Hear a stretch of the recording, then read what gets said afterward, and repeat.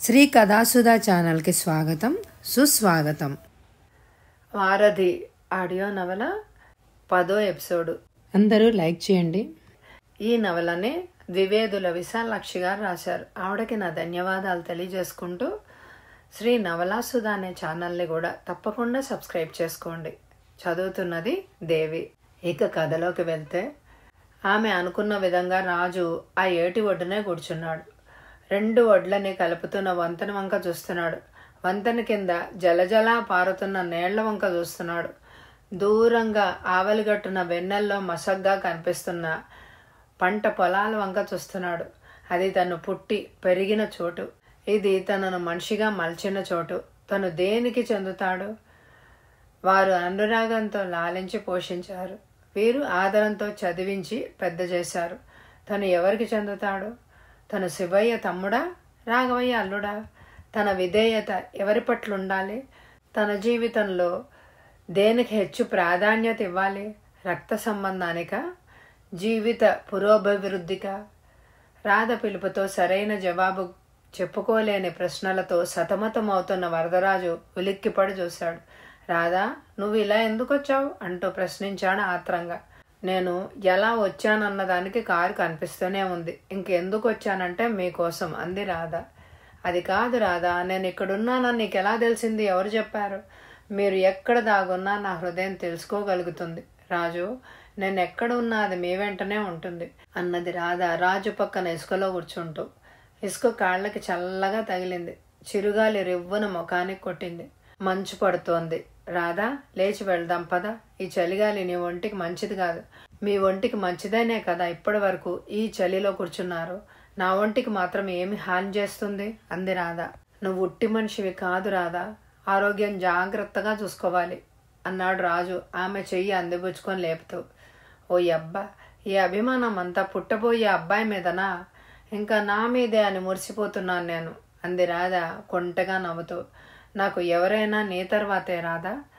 అన్నాడు ఆమె చేతిని మృదువుగా నొక్కుతూ. మీ వదిన కూడానా? ఉడికించే ధోరణిలోనే అంది రాధ. అది వరలో ఎప్పుడైనా ఇటువంటి సంభాషణ జరిగితే వదిన పట్ల తనగ్గల మమత రాధ పట్ల తన మనసులో పరవళ్ళు తొక్కే అనురాగానికి గల భేదాన్ని అరగంటకి తగ్గకుండా ఆమెకి బోధ చేసేవాడు రాజు. మీరిద్దరి ప్రేమానురాగాలకు నా హృదయంలో వేరు వేరు స్థానాలు ఉన్నాయి రాధా. అని ఒకదాంతో ఒకటి ఏ నాటికి పోటీకి సిద్ధం కావు అని అనేవాడు. రాధ మాటతో అతని మొహం నల్లగా మాడిపోయింది. పద రాధ అంటూ ఆమె చేయి పట్టుకొని కారు వైపు నడక సాగించాడు. నిజంగా అన్నగారింట ఏదో జరిగి ఉంటుంది. లేకపోతే వదిన మాట ఎత్తగానే రాజు అలా మౌనం వహించడు అనుకుంది రాధ. ఒకటి రెండు సార్లు అతడు అన్య మనస్కుడుగా ఉండడానికి కారణం తెలుసుకుందామని ప్రయత్నించింది రాధ. ఇప్పుడు నన్నేం ప్రశ్నించకు రాదా చెప్పవలసినప్పుడు నేనే చెప్తాను అన్నాడు రాజు. ఒక చోట నుంచి వేళ్ళతో పెళ్ళగించి ఇంకో చోట పాతిన మొక్క మొదట్లో మొహం వేలాడడం సహజే. ఆ మట్టితో పొత్తు కుదిరి ఆ గాలికి నీటికి అలవాటు పడ్డాక అదే మారాకు తొడుగుతుంది అనుకున్నాడు రాఘవయ్య. రెండు నెలల పాటు తల పగలగొట్టుకుని ఆలోచించి చివరికి ఒక నిశ్చయానికి వచ్చాడు రాజు. మామగారు తన పేర బ్యాంకులో పెట్టిన సొమ్ములో కొంత తీసి అన్న అప్పులన్నీ తీర్చివేయాలి అని అనుకున్నాడు.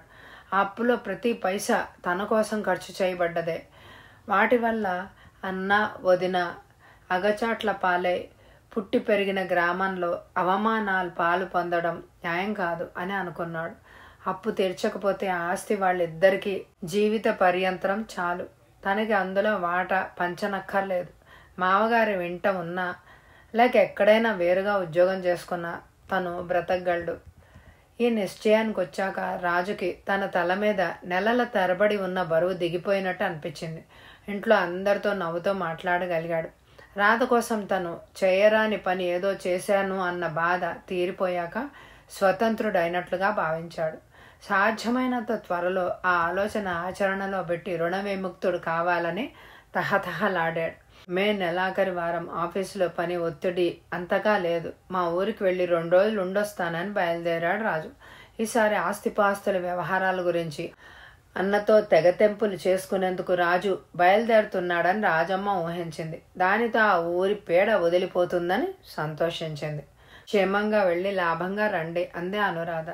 నేనేమైనా వ్యాపార పని మీద వెళ్తున్నాను అనుకుంటున్నావా లాభం చేసుకురావడానికి అన్నాడు రాజు.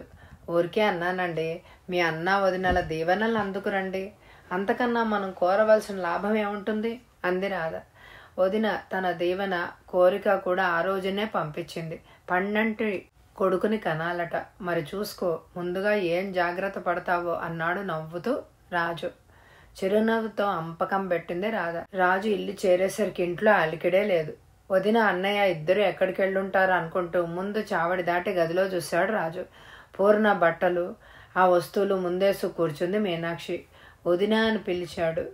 అమ్మ అని పిలిచినట్టు వినిపించింది మీనాక్షి. పూర్ణ పూర్ణ వచ్చావా నా తల్లి అంటూ గుమ్మం వైపు పిచ్చిగా చూసింది. వదిన అదే స్థితిలో ఉంటే ఏదో రోజున పిచ్చిదైపోతుంది అని అనుకున్నాడు రాజు. నేను వదిన వరదరాజుని అన్నాడు ఆమెను సమీపిస్తూ. కళ్ళంట నీళ్ళని పైట కొంగుతో తుడుచుకుంటూ లేచింది మీనాక్షి. నువ్వా వరదం ఇంట్లో సామాన్లన్నీ చిందరవందరగా పడి ఉన్నాయి ఒక్కసారి సర్దుదామని మొదలుపెట్టాను అని అంది.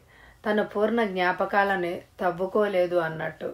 అన్నయ్య ఏడొదిన ఇటు అటు చూస్తూ అడిగాడు.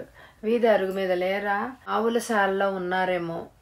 చూడు అంది మీనాక్షి. ఆవులశాలంతా వెల్తిగా ఉంది. ఒక చివర బక్క చిక్కిన ఒక ఆవు అదే స్థితిలో ఉన్న ఓ దూడ ఉన్నాయి. ఆవు ముందు కూర్చుని దాని గంగడోలు దువ్వుతున్నాడు శివయ్య ఆప్యాయంగా. అది ఆప్యాయంగా అతని తలను మూజుస్తున్నది.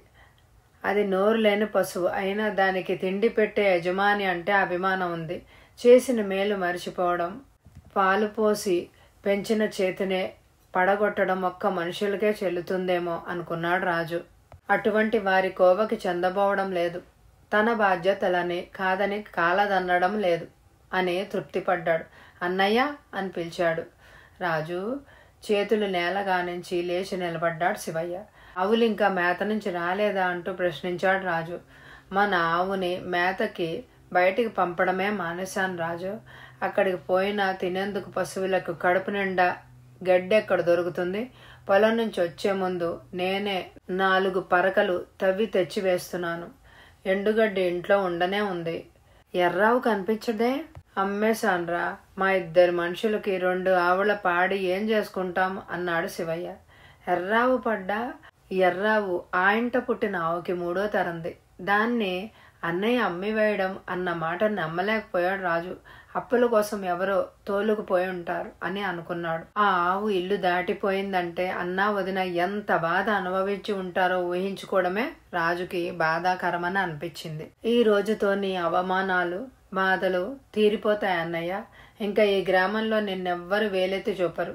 ఈ బుద్ధి నాకు ముందుగానే కలిగి ఉంటే బాగుండిపోయేది నా నీడను చూసి నేనే బెదిరిపోయాను. ఇప్పటికైనా ధైర్యాన్ని కూడగట్టుకోగలిగాను. అదే నాకు తృప్తిగా ఉంది అని మనసులో అనుకుంటూ అన్న చేతిని ఆప్యాయంగా అందుకోబోయాడు రాజు.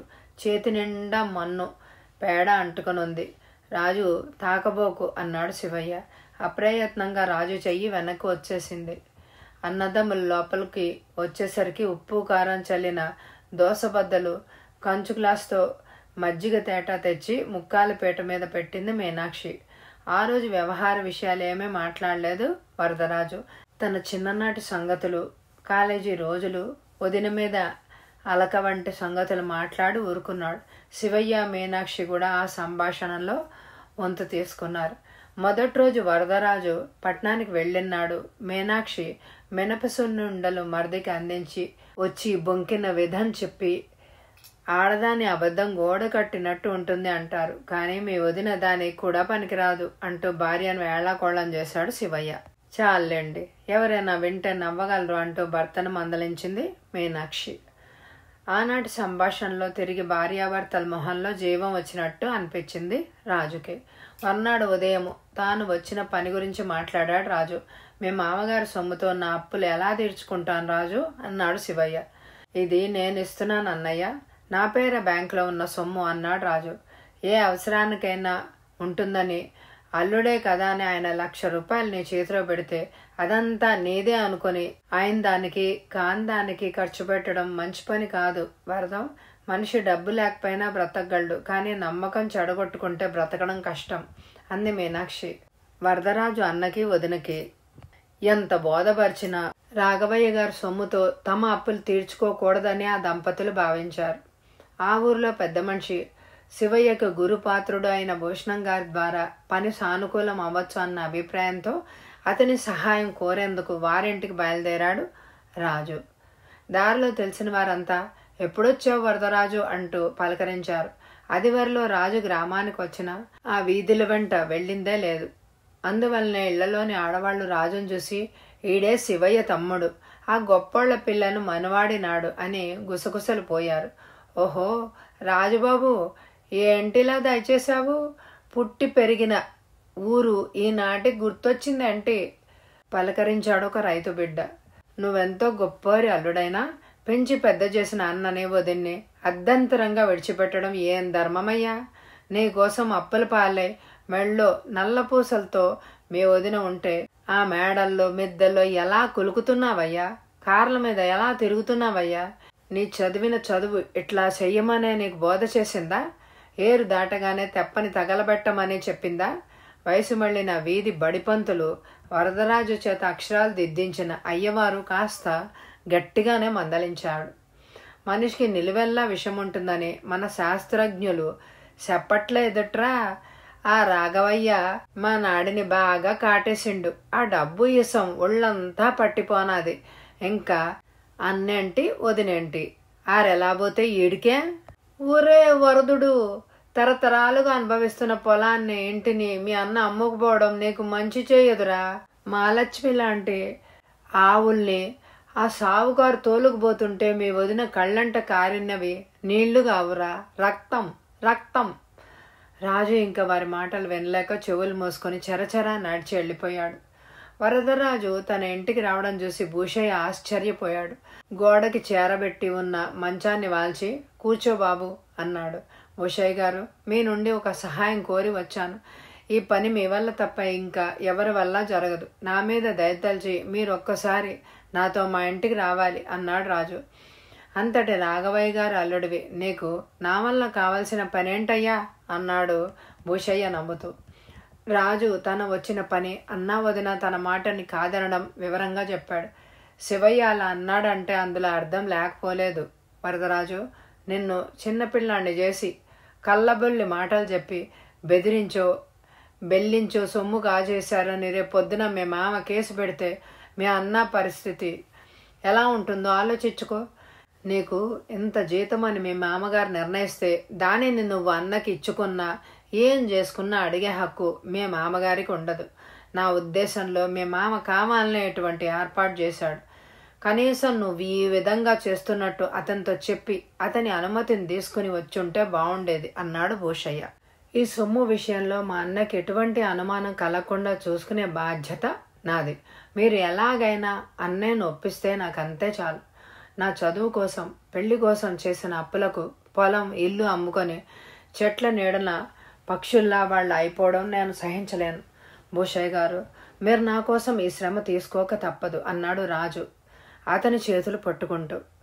నా ఉద్దేశం చెప్పాను కానీ ఈ వీధి నుంచి ఆ వీధి రావడం ఒక శ్రమ ఏమిటయ్యా శివయ్యని చూసి రావాలని అనుకుంటూనే బద్దకిస్తున్నాను. పద వస్తున్నాను అంటూ తలుపు వార నుంచి చేతికర్ర తీసుకుని కిరు చెప్పులు వేసుకొని బయలుదేరాడు భూషయ్య భూషయ్య పక్కగా నడుస్తున్న రాజుని ఒకసారి ఎవరు పల్లెత్తు మాట అనలేకపోయాడు.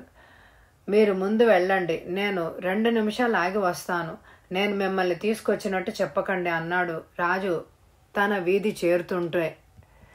భూషణ్ చూస్తూనే శివయ్య ఆదరంగా ఆహ్వానించి కూర్చోబెట్టి ఏంటిలా దయచేశారు? అన్నాడు. ఊరికే నిన్ను చూసి పోదామని అనిపించి ఇలా వచ్చాను. మీ తమ్ముడు వచ్చాడని విన్నాను అన్నాడు భూషయ్య. అటు ఇటు చూస్తూ ఇప్పుడే అలా ఊర్లోకి వెళ్ళాడు అన్నాడు శివయ్య. శివయ్య మాట పూర్తి కాకుండానే రాజు లోపలికి వచ్చాడు ఈ మాటే అనుకుంటున్నాం. నూరేళ్ళ ఆయుద్ధాయం ఉంది నీకు అన్నాడు భూషయ్య. కొంచెం ఆ మాట ఏ మాట మాట్లాడి భూషయ్య అసలు విషయాన్ని కదిలిపాడు. ఏంటి వరదరాజు అంత ఆస్తి గలవారి అల్లుడవై ఇంత పెద్ద ఉద్యోగం చేస్తూ మీ అన్నయ్యని ఊరు వదిలిపోయేలా చేస్తున్నావు. నీ ప్రయోజకత్వం చూసి ఇటు ఏడు అటు ఏడు తరాల వారు ముచ్చట పడిపోతారోయ్ అన్నాడు. అప్పుడే ఆ విషయం కదిలినట్టు. నేను చేయగల సహాయం చేయకుండా ఎలా ఉంటానండి? దానికోసం ఇప్పుడు పని కట్టుకుని వచ్చాను. మీరు మధ్యవర్తిగా ఉండి అన్నయ్య ఎవరికి ఎంత బాకీ ఉన్నాడో లెక్కగట్టి ఇవన్నీ తీర్మానం చేయించండి. నేను తెచ్చిన సొమ్మంతా మీ దగ్గర వదిలిపోతాను అన్నాడు రాజు. మరేవయ్య శివయ్య కుబేరు లాంటి తమ్ముణ్ణి పెట్టుకుని ఇల్లు వాకిలి అమ్ముకున్నానంటూ బేదార్పులు అరుస్తావేంటి? హాయిగా అప్పులు సప్పులు తీర్చుకొని కాస్త పొలానికి మదుపు మరామర్తు పెట్టావంటే నీ పంట ఎందరు తినరు? అన్నాడు భూషయ్య ఉత్సాహంగా. అదే సక్రమంగా సాగితే పుట్టి పెరిగిన గడ్డ విడిచిపోవాలని ఎందుకు అనుకుంటాను? భూషయ్య గారు ఇందులో సాధక బాధకాలు ఉన్నాయి ఆ సొమ్ము మా రాజుదే అయితే ముక్కు పిండి వాడి దగ్గర పుచ్చుకునేవాడిని నీ చదువు కోసం చేసిన అప్పులు ఎవరి కోసం తీరుస్తావు? అని నిలబెట్టి అడిగేవాడిని కాదంటే మీ వంటి పెద్దల చేత నోట్లో గడ్డి పెట్టించేవాడిని కానీ ఆ సొమ్ము రాజుది కాదు భూషయ్య గారు రాఘవయ్య గారిది. సొమ్ము ఎవరిదో అందుమీద రాసి ఉందా శివయ్య? నీ తమ్ముడు ఇస్తున్నాడు నువ్వు పుచ్చుకుంటున్నావు. అంతకు మించిన లోతుకి నువ్వు ఎందుకు పోవాలి? పెద్దలు మీరు చెప్తుంటే నేను కాదన్నాను అనుకోకండి. ఊరి వాళ్ళ సొమ్ముతో అప్పులు తీర్చుకొని ఇల్లు భూమి నిలుపుకున్న ఎవరు తినాలి భూషయ్య గారు? మా ఇద్దరి పొట్టకి ఆ పాటి అన్నం పుట్టించలేకపోను. దానికోసం కక్కుర్తిపడి పైవాళ్ళ సొమ్ముకి ఎందుకు ఆశించాలి? ఆ రాఘవయ్య అంత ఉదారుడై ఉంటే తన అల్లుడి చదువు భారం ఒకరు వహిస్తే ఫలితం తను అనుభవిస్తున్నానన్న గుర్తింపు ఉంటే తన చేతి మీదుగా ఇంత సొమ్మిచ్చి మీ అన్నయ్యకి ఇచ్చిరా దీంతో వాళ్ళ అప్పులు తీర్చుకోమను అని ఉండడు. అప్పుడు తమ్ముడి సొమ్ము అని సమాధానపడి పుచ్చుకున్నా కొంత అర్థం ఉంది పది మందికి పెట్టడమే గాని ఒకరి ముందు చేయి జాపడం మా ఇంట వంట లేదు. నన్ను మన్నించండి అన్నాడు శివయ్య. ఎందులో నువ్వు అనుకుంటున్నంత దోషం నాకేం కనిపించలేదు శివయ్య. సావధానంగా మరోసారి ఆలోచించి చూడు. మరి నేను వెళ్ళొస్తానే అంటూ లేచాడు భూషయ్య. రాజు భూషయ్యతో కొంత దూరం వెళ్ళి భూషయ్య గారు ఆస్తి అమ్మకం కాకుండా కొంతకాలం చూడండి. నేను ఏదో విధంగా సర్దుబాటు చేస్తాను. అవసరమైతే మామగారి చేతనే అన్నయ్యకి చెప్పిస్తాను అన్నాడు రాజు. నీ సంతకం లేనిదే ఆస్తి అమ్మకం ఎలా జరుగుతుంది రాజు? నీ ప్రయత్నం నువ్వు చేసి అన్నని రుణ విముక్తిని చెయ్యి. మీ వదిన నీకు మీ అమ్మకి చేసిన దానికి నీ చర్మం చెప్పులు కుట్టించినా నీ రుణం తీరదు అన్నాడు భూషయ్య. తెచ్చిన సొమ్ముని తిరిగి బ్యాంకులో వేశాడు రాజు. తన ఊళ్ళో ఏం జరిగిందో ఇంట్లో వారికి సూచన ప్రాయంగానైనా తెలపలేదు. అన్న ఇంటికి వెళ్ళి రెండు రోజులు ఉండి వచ్చాను అన్నట్టే ప్రవర్తించాడు. ఆఫీస్లోనూ ఇంట్లోనూ అట్టే మార్పులు లేకుండా నెల రోజులు గడిచిపోయాయి. జూలై నెల ప్రవేశించగానే అనురాధకి సీమంత మహోత్సవం జరిపించింది రాజమ్మ. కష్టంలో ఉన్నారు. పిలిచినా మాత్రం వస్తారా అన్న సాకుతో రాజు అన్నా వదినెలకి ఆహ్వానమైన పంపలేదు రాజమ్మ. ఆ విషయం తెలుసుకున్నాక రాజు మొహం వెలవెలబోయింది అనురాధ తల్లి చర్యను ఖండించింది. రాఘవయ్య గారి సతీమణికి తన పాయలో ఉన్నవారితో కలిసిమెలిసి తిరగడం ఎంత ముచ్చటో కాస్త కిందవారిని విదిలించడం అంత అలవాటని ఆ ఊళ్ళో అందరికీ తెలుసు. ఆ కారణంగానే అనురాధ అత్తారింటి వాళ్ళని రాకపోవడం వింతగా ఎవ్వరూ చెప్పుకోలేదు. గాజులు చేతులతో పువ్వుల జడతో వచ్చి భర్త పాదాలకు నమస్కరించింది అనురాధ. ప్రేమగా ఆమెను లేవనెత్తి పువ్వుల కన్నా సుకుమారంగా ఉన్న రాధ బొగ్గ మీద సున్నితంగా ముద్దు పెట్టుకున్నాడు రాజు. రాధ రాజు రెండు చేతులతో పట్టుకుని మా అమ్మ చేసిన పనికి నేను క్షమార్పణలు చెప్పుకుంటున్నాను. నాకు ముందుగా ఈ విషయం తెలిసి ఉంటే స్వయంగా పోయి అక్కయ్యను పిలుచుకొచ్చేదాన్ని. ఇప్పుడైనా మించిపోయింది ఏమీ లేదు. ఇంకా చాలా వెలుగుంది. మీ ఊరు పోయి అక్కయ్య ఆశీస్సులు పొంది వద్దాను రండి అంది. వద్దు రాదా ఈ సమయంలో నేను ఏరు దాటించి ఆ దారిని అంత దూరం నడిపించి అక్కడికి తీసుకుపోలేను. వీలైతే ఏదో రోజున పోయి వదిన్నే పిలుచుకొస్తాను అన్నాడు రాజు అనునయంగా. ఆషాఢం వచ్చి ఇరవై రోజులకు పైగా అయింది. ఆకాశం మీద అల్లరి చిల్లరగా తిరుగుతున్న మేఘాలు ఉండి ఉండి కొండలతో నీళ్ళు దెమ్మరిస్తున్నాయి. పట్నంలో పల్లపు వీధులన్నీ జలమయమైపోయాయి. ఈ సంవత్సరం వర్షాలు జాస్తిగా పడేలా ఉన్నాయి. వర్షాకాలం మొదట్లోనే ఎంతగా విజృంభించాయి అని అనుకున్నారు మనుషులు. ఆ రోజు ఆదివారం బయట వర్షం జోరుగా కురుస్తుంటే రాఘవయ్య రాజు వెచ్చగా డ్రాయింగ్ రూమ్లో సోఫాలో కూర్చొని కబుర్లు చెప్పుకుంటున్నారు. ఎప్పుడు కంపెనీ షేర్లు పెట్టుబడులు లాభ నష్టాల గురించి మాట్లాడే రాఘవయ్య బయటపడుతున్న వర్ష కారణంగా ఆ రోజు పంటల గురించి మాట్లాడడం మొదలుపెట్టాడు. ఏమోయ్ రైతు బిడ్డ ఈ వర్షం పంటలకు పనికొస్తుందంటావా? అంటూ అల్లుడిని ప్రశ్నించాడు. పట్నంలో ఉన్న మీకెంత వ్యవసాయం గురించి తెలుసో పల్లెలో పుట్టి పెరిగిన నాకు అంత మాత్రంగానే తెలుసు. భగవంతుడి దయవల్ల ఈ చదువు అంటబట్టి కానీ లేకుంటే నేను పైసకి పనికి రాకుండా పోదును అన్నాడు రాజు. వ్యవసాయం గురించి తెలియడానికి ఏముందయ్యా? భూమి దున్ని బాగా ఎరువులు వేసి విత్తనాలు జల్లితే సరి. తెలుసుకోవలసిందల్లా పండిన పంట బస్తాలకెత్తి ఎలా ఎప్పుడు అమ్మకం సాగిస్తే లాభం వస్తుందో తెలుసుకోవడమే అన్నాడు రాఘవయ్య. మట్టిలో కలిపిన విత్తు పంట అయి ఇంటికి రావడానికి ఎన్ని ఆటంకాలు ఎన్ని విధాలు కష్టపడితే వస్తుందో రాజుకి అనుభవం వల్ల తెలియకపోయినా వెనుకిడి వల్ల కొంత తెలుసు. ఆ నాలుగు మాటలు అప్పచెప్పి అదే సమయంలో అన్నయ్య అప్పుల మాట చెప్పాలి అని అనుకున్నాడు రాజు. బెరర్ కాఫీ టిఫిన్లు తెచ్చిపెట్టాడు. ఈ గదిలో వెచ్చగా ఉంది. అంతా కలిసి ఇక్కడే కాఫీలు తీసుకుందాం. రా రాదా అంటూ కూతుర్ని పిలుస్తూ రాజమ్మ గదిలోకి ప్రవేశించింది. ఆడవాళ్ళు చేరగానే సంభాషణ వేరుదారిలో నడక సాగించింది. గర్భవతి అయిన అనురాధ ఎదురుగా ఉండడం చేత సహజంగా సంభాషణ పిల్లలు పాపల మీదకి తిరిగింది. ఇంకెంతకాలంలేండి రెండు నెలలు ఓపిక పడితే మీ మనవడు మీ ముక్కు పట్టుకొని మూడు చెరువులు నీళ్ళు తాగిస్తాడు. అంది రాజమ్మ రాఘవయ్య ఎగతాళిగా అన్న ఏదో మాటకి జవాబుగా చూడమ్మా రాధా మనవడే పుడతాడని మీ అమ్మ ఎంత ధాటిగా చెప్తోందో అన్నాడు రాఘవయ్య. నేను రాజుకి తన పోలిక ఉన్న కొడుకునే కనిస్తానని మాట ఇచ్చాను నాన్న. అందుచేత మగపిల్లాడే పుట్టాలి మరి అంది రాధ నవ్వుతూ. ఏమో నాకు మాత్రం నీలాంటి అమ్మాయి కావాలనుంది అన్నాడు రాఘవయ్య. రాధా నేను ఒక సులువు చెప్పనా? ఒక కొడుకునే ఓ కూతుర్నే గానే అందరి కోరికలు తీరిపోతాయి అన్నాడు రాజు పరిహాసంగా. ఆ మాటతో అంతా గొల్లుమని నవ్వారు. వారి నవ్వు ఆగకుండానే ఎర్రయ్య వచ్చి రాజు కోసం ఊరు నుంచి ఎవరో వచ్చారని చెప్పాడు. పూర్ణ పోయిన నాటి సంఘటన జ్ఞాపకం వచ్చింది అనురాధకి? ఆ రోజు కూడా ఇలాగే వర్షం పడుతోంది. తామిద్దరూ కాఫీలు తాగుతున్నారు. సరిగ్గా అదే సమయం. అసలు రాజు ఊరి నుండి మనిషి వచ్చాడంటేనే తనకెంతో భయంగా ఉంది. మళ్ళా ఏ పాడువార్త తేలేదు కదా. బయటికి వెళ్ళిన రాజు రాక కోసం రాధ ఆత్రంగా ఎదురుచూసింది. వచ్చిన ఆ వ్యక్తితో మాట్లాడు అంపకం పెట్టిన పది నిమిషాలు నిండకు పొరమేమే రాజు తిరిగి వచ్చాడు ఎవరొచ్చింది? ఏమిటి సంగతి? అంటూ ప్రశ్నించింది రాధ. ఏదో పని ఉందట ఒక్కసారి వచ్చి వెళ్ళమని అన్నయ్య కబురు పెట్టాడు. తెరిపిగా ఉంటే రేపు వస్తానని చెప్పమన్నాను. ఇంత వర్షంలో మనిషిని పంపించవలసిన అవసరమైన పని ఏమై ఉంటుంది? నీతో అంది రాజమ్మ. అతడు వేరే పని మీద వచ్చాడు. దారే కనుక ఈ మాట కూడా చెప్పి రమ్మన్నాడు అన్నయ్య. ఇంత వర్షంలో తిరిగి వెళ్ళిపోయాడు. కాస్తసేపు ఆగి వెళ్తే అంది రాధ. గంటకి గడియకి ఈ వర్షం తగ్గేలా లేదు. రాధా అయినా వాళ్ళకి వర్షంలో తడుస్తూ పొలాల్లో పనులు చేసుకోవడం అలవాటే అంది రాజమ్మ.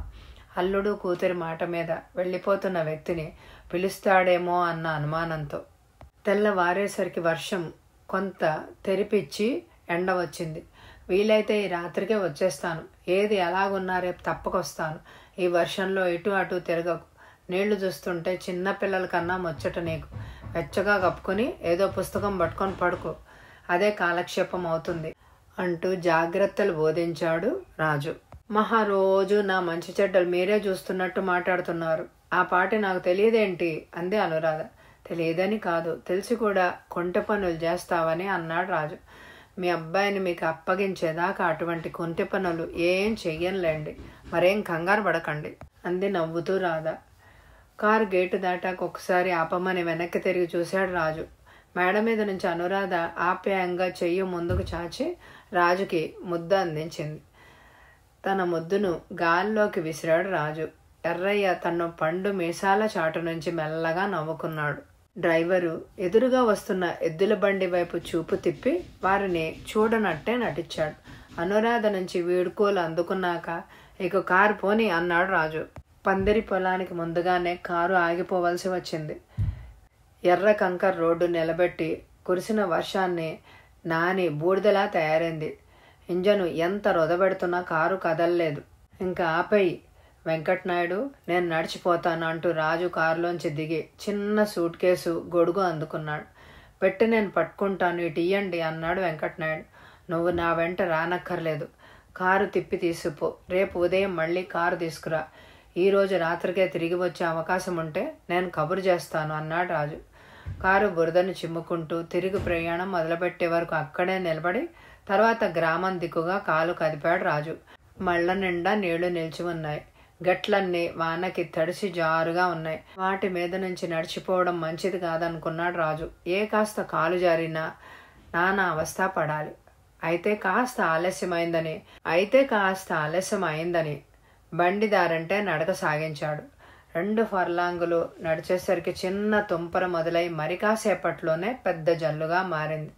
గాలికి గొడుగు పై పైకి ఎగిరిపోతూ రాజుకి రాజుకి చంద్రమండల దర్శనం చేయిస్తానంటోంది. నీళ్ళకి నానైన జోళ్ళు ఆ నాటుదారిలో కిసకిసమంటూ చప్పుడు చేస్తున్నాయి. ముఖం మీద జల్లు కొడుతూ ఉంటే నీటిని చేత్తో తోసుకుంటూ దారి చూసుకుంటూ నడుస్తున్నాడు. వరదరాజుతో పందెం వేసినట్టు వర్షం జోరు ఎక్కిస్తుంది. అతడు ఇల్లు చేరుకునేసరికి గాలి వాన బాగా బలం పెంచుకున్నాయి. మోకాళ్ళ వరకు పేటంతా ఎర్రమట్టి బురదతో నిండిపోయింది. గొడుగు జోళ్ళు వరండాల వదిలి రాజు లోపలికొస్తుంటే శివయ్య చూశాడు. ఇంత వర్షంలో వచ్చావేంటి రాజు? అన్నాడు. వర్షంలో నడక మూలంగా రాజు అలసిపోయి ఉన్నాడు. చేతిలోని సూట్ కేసు నీటికి తడిసి దిగలాగుతోంది. ఎందుకో రమ్మని కబురు పెట్టావు కదా అన్నాడు రాజు. తమ్ముడు మాటలోని విసుగుదలని శివయ్య గుర్తించకపోలేదు.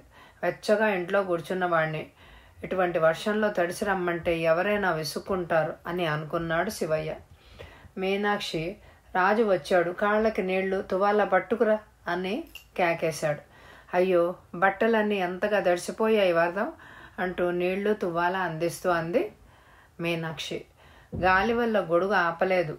అందున బండిదారిలో పాదాలు ములిగేలాగా నీళ్ళున్నాయి. ఏ ఊరైనా బాగుపడుతుంది గాని మన గ్రామానికి మోక్షమే లేదు. దారి పొడుగున బాడి బురద అన్నాడు రాజు విసుక్కుంటూ. నువ్వు పెద్ద ఉద్యోగస్తుడు అయ్యావు కదా పట్టుబట్టి పది మందితో చెప్పి తారు రోడ్డు వేయించు. ఎంత కాదనుకున్నా పుట్టి పెరిగిన ఊరు కదా. ఉన్న నలుగురు నీ పేరు చెప్పుకుంటారు అంది మీనాక్షి నవ్వుతూ. కబుర్లు తర్వాత చెప్పొచ్చు గాని ముందు తాగేందుకు వేడిగా ఏదైనా పట్రా. లే రాజు లేచి బట్టలు మార్చుకో అన్నాడు శివయ్య. మీనాక్షి లోపలికి వెళ్ళాక రాజుకి తను రమ్మని కబురు పెట్టడానికి కారణం తెలియజేశాడు శివయ్య. రాతకోతలన్నీ అయిపోయాయి. రేపు సంతకాలు కావాలి. నీకు కూడా వాటా ఉంది కదా? నీ సంతకం కూడా కావాలి. నీకు ఇష్టం లేకుండా నువ్వు ఆస్తి అమ్మడానికి పెడుతుంటే నేనెందుకు సంతకం చేయాలి? అన్నయ్య ఈ ఊళ్ళో ఉన్న పొలం ఇల్లు అమ్మడం నాకు ఇష్టం లేదు అన్నాడు రాజు. శివయ్య పిడుగుదిన్న వాడిలాగా మంచం మీద కూలబడ్డాడు. రాజుకి ఆస్తి మీద ఆపేక్ష ఉందని కానీ దీన్ని అమ్మేందుకు అడ్డు తగులుతాడని కానీ పెద్ద మనుషుల ఎదుట బేరం కుదిర్చి అమ్మకానికి సిద్ధపడ్డాడు. ఇప్పుడు తమ్ముడి మాటల్లో ముందుగా పుచ్చుకున్న ఆరు వందలు తిరిగి ఇచ్చుకోవడమే కాకుండా గ్రామంలో మిగిలి ఉన్న ఆ పాటి గౌరవం కూడా సన్నగిల్లిపోతుంది. మంచిగా గ్రామం వదిలి పోవాలనే తన కోరిక ఇంకా తీరే మార్గం లేదనుకున్నాడు శివయ్య. అన్న తన మాటలకి జవాబు చెప్పకపోవడంతో చూసి రాజు తిరిగి తనే మాట అందుకున్నాడు. ఎంతో కాలంగా మన పేరు మీదుగా ఉన్న ఇల్లు భూములు అమ్ముకోవలసినంత గతి పట్టలేదు అన్నయ్య. ఆ భూములు ఈనాడు పండినా ఎండినా ఓనాడు మనకి అన్నం పెట్టాయన్న సంగతి గుర్తుంచుకో. ఈ ఇంటితో ఉన్న అనుబంధం అంత సులువుగా వదులుకోగలిగేది కాదు అన్నయ్య. నీ తండ్రి ఆస్తి పైకి పోకూడదని నీకు పట్టింపుగా ఉంటే నువ్వే డబ్బులిచ్చి తీసుకోరాజు ఇంకా దీనిని నిల్చుకునే శక్తి ఆసక్తి నాకు లేదు. నిశ్చయించుకున్న మీదటనే నేను ఈ నిర్ణయానికి వచ్చాను ఇంటితో భూమితో ఏదో అనుబంధం అంటూ మాట్లాడావు. అటువంటిదేమైనా ఉంటే పేరుకి గ్రామంలో పెట్టి పాతికేళ్ళ బ్రతుకు పట్నంలో గడిపిన నీకన్నా నాకే అధికంగా ఉంటుంది. కానీ ఏది మన చేతిలో లేదు. రాజు పెనుగాలికి తల వంచి నిలిచిన చెట్టే బ్రతికి బయటపడగలుగుతుంది. పంతగించి ఎదురు నిలిస్తే వేళ్ళతో పాటు పెళ్ళగించి పారేస్తుంది గాలి. నాకు ఎవ్వరూ లేకపోయినా నా నీడలా బ్రతుకుతున్న మీ వదిన ఉంది. ఆమెను పోషిస్తాను అని సుఖపెడతానని పెళ్ళినాడు చేసిన వాగ్దానం నా బొందిలో ప్రాణం ఉన్నంతకాలం నిలుపుకోవాలి. అందుకే ఈ ప్రయత్నం. ఈ రకమైన జీవితంలో ఓడిపోయాను. రాజు అడుగడుగునా దెబ్బలే తిన్నాను. ఈ గడ్డ నుంచి కాలు కదిపి ఇంకొక రకమైన బ్రతుకుందేమో చూస్తాను. అది దీనికి భిన్నంగా ఉండి ఆఖరి దశలోనైనా నా మనసుకి శాంతిని ప్రసాదిస్తుందేమో అనేదే ఆశ. నా ఆస్తిని నువ్వు నిలుపుకుంటే నాకు అంతకన్నా కోరగలిగింది ఏముంటుంది రాజు? తన కొడుకుల్లో ఒకడైనా ప్రయోజకుడు అయినందుకు నాన్న ఆ లోకం నుంచి సంతోషిస్తాడు అన్నాడు శివయ్య శాంతంగా. ఆ అన్నయ్య అన్నాడు రాజు ఉద్రేకంగా. ఇది ఉద్రేకాలతో ఉట్టి మాటలతో తేలే పని కాదు. వరదం తెచ్చిన అప్పులు తీర్చక తప్పదు. అవి తీర్చే శక్తి నిర్ధనుడైన మీ అన్నకి లేదు. ధన సంపదల మధ్య మసలుతున్న నీకు కూడా లేదు. అన్నీ అనుకున్నట్టుగా జరిగిపోతాయి అన్న నమ్మకంతో ఆపాటి అప్పు తీర్చుకోలేమా అన్న ధైర్యంతో అందులో కాలు మోపాం. కానీ విధి అన్ని విధాలా ప్రతికూలించింది. ఆస్తి అమ్ముకుంది అప్పు తీరే మార్గమే కనిపించడం లేదు. నీ వంతు ఆస్తి అమ్మదలుచుకోకపోతే అట్టు పెట్టుకో రాజు. మీ మామగారికి లక్షల రాబడి. ఈ వందలు కూడా కలుపు. మాది అమ్మి తీర్చగలిగినన్ని అప్పులు తీరుస్తాం. మిగిలిన దానికి మనుషులు మమ్మల్ని తిట్టిపోసినా ఆ భగవంతుడు క్షమిస్తాడు. అంది. అప్పుడే పాల గ్లాసు పట్టుకొని వచ్చిన మీనాక్షి. నువ్వు కూడా నన్ను ఎంతగానే అర్థం చేసుకున్నావా వదిన? నేను ఆస్తి చేజిక్కించుకునేందుకు ఈ మాటలు అంటున్నానని భావించావా? ఆస్తిని కైవసం చేసుకుని అన్ననే వదిలిని నీ చేతుల్లో పెరిగిన వరదుడు ఇంటి నుండి వెళ్ళగొడతాడని అనుకుంటున్నావా వదిన? నిజంగా ఏ నాటికైనా అలా జరుగుతుందనే నమ్మకంతోనే ఈ మాట అంటున్నావా? నేనెంత దురదృష్టవంతుణ్ణి వదిన? పాలు తాగిన వెంటనే విషం కక్కుతున్నాను. రెండు చేతులతో మొహం కప్పుకొని వస్తున్న కన్నీటిని ఆపుకుంటూ అలాగే ఉండిపోయాడు రాజు. రెండు నిమిషాల పాటు మౌనంగా అక్కడే నిలబడి వంట ఇంట్లోకి వెళ్ళిపోయింది మీనాక్షి. వీధిలోంచి ఎవరో తనని పిలుస్తుంటే బయటికి వెళ్ళాడు శివయ్య. మధ్యాహ్నం భోజనాలు చేస్తుంటే రాజే తిరిగి అమ్మకాల ప్రసక్తి తెచ్చాడు. అన్నయ్య నేను వెంటనే వెళ్ళిపోవాలి. ఈరోజు ఆ పని ముగిసిపోయే వీలుందేమో ప్రయత్నించి చూడు అన్నాడు. వంచిన తల పైకెత్తి క్షణకాలం వరదోడ వైపు పరీక్షగా చూశాడు శివయ్య.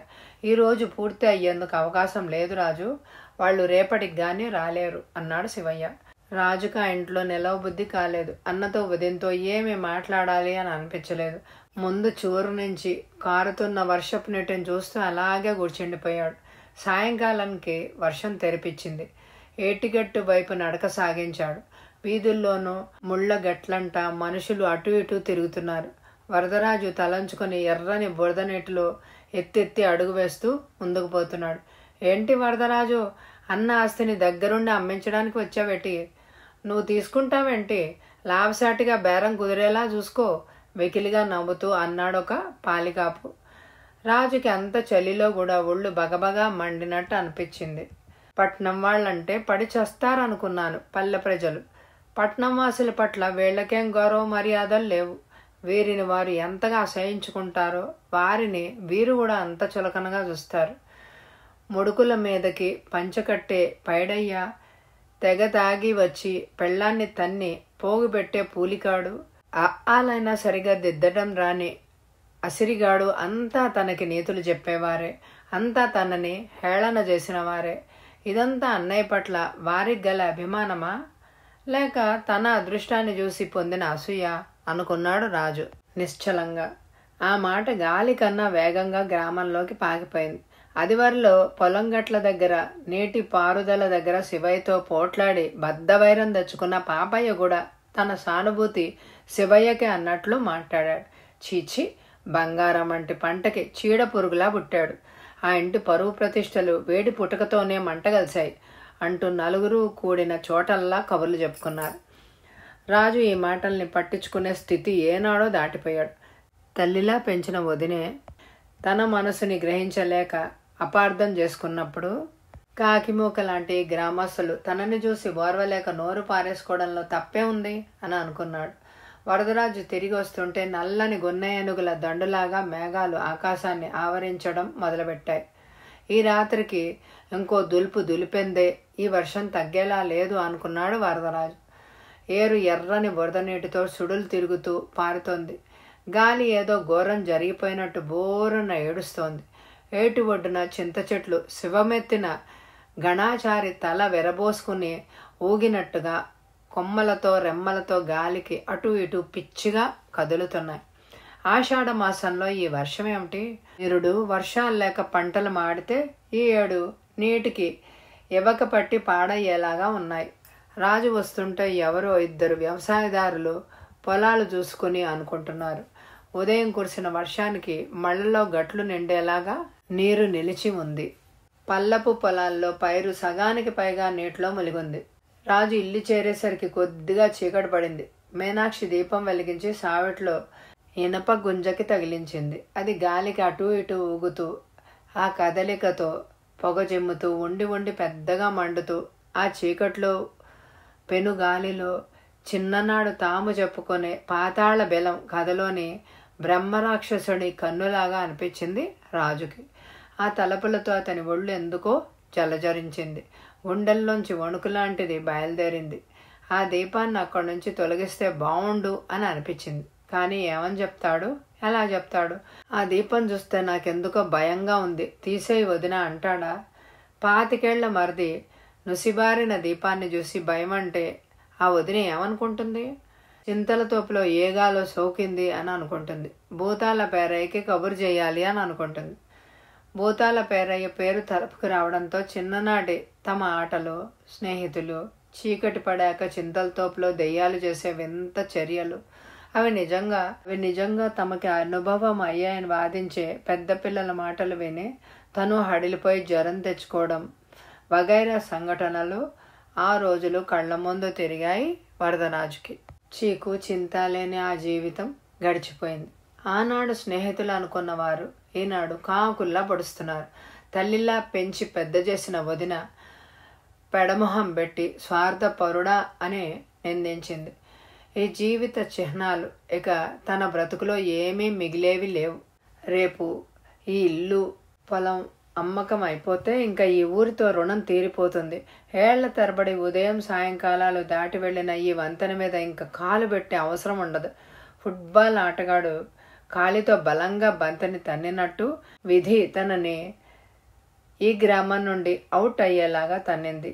తిరిగి ఆటలోకి వచ్చే మార్గమే లేదు.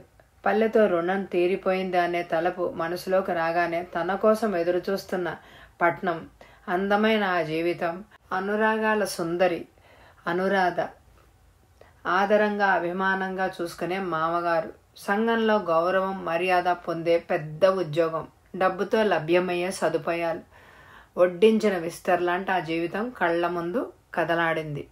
పోతే పోయింది ఈ పల్లెతో తనకున్న అనుబంధం. అంత మాత్రాన తన జీవితం అంతా నాశనం అయిపోయినట్టు తను కుంగి పోనక్కర్లేదు తన జీవిత పరిధి మరీ కాస్త విస్తృతమైందని సంతోషించాలి. తను ఇంతవరకు రెండు తెప్పల మీద ప్రయాణం సాగిస్తున్నాడు. ఏదో తాకిడికి ఈ రెండిటిని ఒకటిగా బంధించి తాడు తెగిపోతే తను ఏటిపాలు అయిపోవడం తప్పదు. ఈ తెప్పలు ఎదురెదురు తీరాలకి ప్రయాణించే ప్రయత్నం చేస్తున్నాయి. తన జీవిత పర్యంతం వీటి మీద నిలిచి నిరీక్షించిన ఉన్న స్థలం నుంచి ఒక అడుగైనా తీరం దిశగా ప్రయాణించలేడు. దీనిలో ఒకదాన్ని ఛేదించి రెండో దాని మీద చుక్కాని చేతబట్టి గమ్యాన్ని చేరుకోవాలి. తన ప్రయత్నం లేకుండా అవకాశం కలిగింది. ఇది ఒకందుకు మంచిదే అనుకున్నాడు రాజు. గాలిలో ఎగిరెగిరి ఆ దీపం ఎప్పుడో ఆరిపోయింది. కటిక చీకట్లో పెరట్లోని కొబ్బరి చెట్ల తలలు గాలి జోరికి కొలమానంగా ఊగుతున్నాయి. లేచి త్వరగా భోజనాలు చేస్తే మంచిది. వర్షం మొదలైతే ఆ భోజనాలు ఇల్లు ఎందుకు పనికిరాదు? చీకట్లో చేరి మూలలు కూర్చున్న భర్తని మరిదిని హెచ్చరించింది మీనాక్షి. దారి కనిపించేందుకైనా రాజుకి దీపం చూపించు అన్నాడు శివయ్య. అలవాటున్న ఇల్లే కదా. మెల్లగా నడిచిరా వరదం. తలుపు తీసి పైకి తీస్తే దీపం నిలిచే మార్గమే లేదు. గాలికి ఊగి ఊగి ఆ హరికేన్లంతరి కిందపడి చిమ్నీ ముక్కలైంది. ఇంకొకటి ఇంట్లో లేదు. అరే చిమ్నీ బద్దలైందా? నేను శబ్దం వినలేదు. ఇంకా గాలికి దీపం మారిపోయింది అని అనుకున్నాను అన్నాడు శివయ్య. మీ అన్నదమ్ములు ఇద్దరూ కూర్చునే కునుకుదీస్తున్నారు బళ్ళున్న చిమ్నీ పగిలిన చప్పుడు ఒక్కరూ కళ్ళు తెరవలేదు. అంది మీనాక్షి. శివయ్య రాజు మజ్జిగన్నం తినడం మొదలుపెట్టేసరికి రూపాయి అంతేసి చినుకులు చిటపటా పడ్డం మొదలుపెట్టాయి. వారు చెయ్యి కడుక్కుని వానలోంచి ఈ వానలోకి వచ్చేసరికి జల్లు పెద్దదైంది. తను ఇంత తిన్నాను అని అనిపించుకొని తాటాకు రేకుల గొడుగు తలపై పెట్టుకుని పాల చెంబు రెండు గ్లాసులు పట్టుకొని వచ్చింది మీనాక్షి. వేడివేడి పాలు రెండు గ్లాసుల్లో పోసి భర్తకి మరదకి ఇచ్చింది.